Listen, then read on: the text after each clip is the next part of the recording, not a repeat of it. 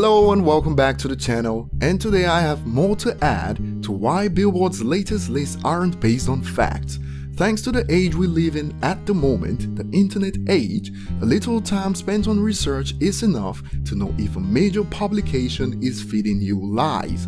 Back in the day, we'll have to take their word for it based on their reputation, but these days fact checking is easier than ever. So yesterday I covered Billboard's latest list of the greatest artists of all time and Eminem ranked at number 22 on that list, a list that saw the likes of Drake, Taylor Swift and many other less successful than Eminem based on commercial performance rank higher. So that list was easy to knock down it wasn't based on what we traditionally know is used to measure an artist's success, which has traditionally been first and foremost album sales.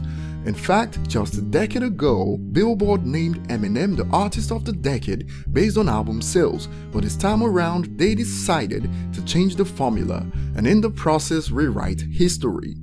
As a hip hop fan, this doesn't just affect Eminem, but legends like Tupac and Biggie, because in the new format that Billboard has employed in ranking artists, they are nowhere close to the top rappers anymore because of this change, and they have been surpassed by the likes of Drake, who's yet to sell 12 million pure albums in his career. Even the legendary Garth Brooks, with 6 albums that have surpassed Diamond, has been surpassed by Drake and Taylor Swift according to Billboard, just to give you an idea of what's going on. So for a while we've all known that Recovery was the best-selling hip-hop album of the current decade based on pure sales at the moment, and in May 2019 it was estimated to have sold 4.85 million pure copies in the US. Overall, across all genres of music, this makes Recovery the fourth best-selling album of this decade. Now keep these numbers in mind. Towards the latter part of this decade, streaming took off and Billboard began to add streams with the term equivalent sales, so at the decade ends list, they have now placed Recovery at number 3. Now I'm going to do some math to show you guys why this is most likely inaccurate, even including streams, and why Recovery most likely is indeed the number one, even including equivalent sales.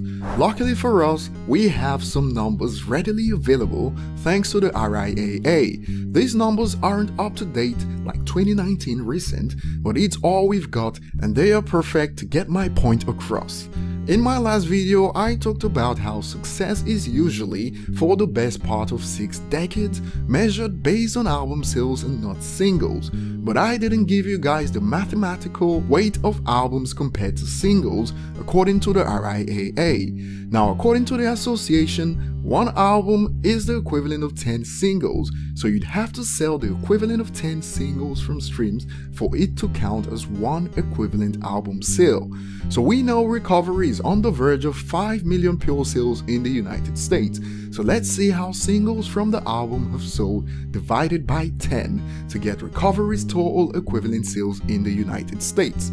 Love the Way You Lie is certified 12 times platinum, Not Afraid 10 times platinum, no Love 4 times platinum, Spacebound 2 times platinum, Cinderella Man platinum, Won't Back Down platinum, Talking to Myself, Cold Wind Blows and 25 to Life gold. Now that's a total of 31.5 million singles sold from Recovery based on certifications when they were last updated. Remember, 10 singles is the equivalent of one album sale, which gives us an additional 3.15 million equivalent units of recoveries sold, which brings Recovery's total to 8 million equivalent units sold. These recovery figures aren't even up to date, but it's eligible for 8 times platinum at the moment based on these figures. Keep that in mind, so let's head back to Billboard's list of hip hop albums of the decade where Recovery comes in third.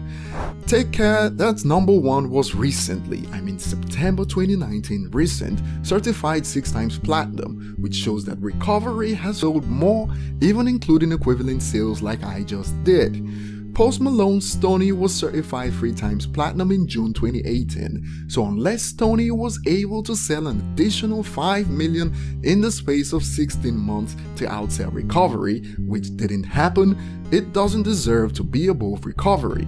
I sent this tweet to Billboard requesting to know the criteria they are using to rank these albums, and they are yet to reply. But until they tell us what criteria they are using to rank these albums, you shouldn't believe any of their lists so far. Yesterday, I covered their greatest artists of all time, and that also didn't add up. And now, mathematically, you can see that there's no way Stoney or Take Care have more equivalent sales than Recovery. Before we move on to the next part of the video, remember to hit the like button if you enjoy content like this and if you're new, also hit the subscribe button and turn on notifications to never miss a video. According to Billboard this decade, Eminem doesn't make the top 10 R&B slash hip hop artists, he comes in at number 11 behind artists like Nicki Minaj, Lil Wayne, Trey Songz, when he sold more albums and singles this decade than these artists. Just to give you an idea of how wrong someone will be when quoting Billboard as fact this time around, check out what the decade looks like for both pure sales and also equivalent album sales. For pure sales this decade, only Adele and Taylor Swift surpassed Eminem, and overall career totals, Eminem still tops these two artists with over 25 million extra sales to spare since Eminem is closing in on 50 million pure album sales in the United States. For hip hop artists, when we include equivalent sales, this decade, only Drake has more equivalent sales than Eminem. At this point, Chartmasters.org is more credible than Billboard, and I understand why Rolling Stone decided to start up their chart to compete with Billboard. Like I said earlier, this isn't just about Eminem, and according to Billboard, Drake and Taylor Swift are greater than Garth Brooks and Eminem that have sold more albums because of radio play and number of chart entries.